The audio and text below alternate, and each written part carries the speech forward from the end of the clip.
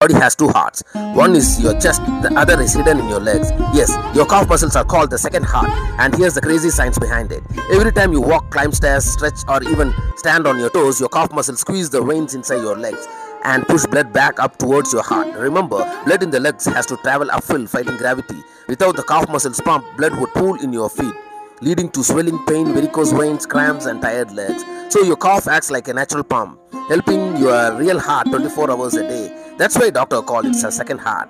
So today I am uh-huh. sharing you some good exercise for office uh-huh. workers or long-standing jobs. Heel raises. Lift your heels up.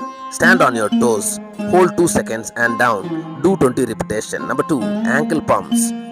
Sit. Stretch legs. Move feet up and down uh-huh. like pressing accelerator.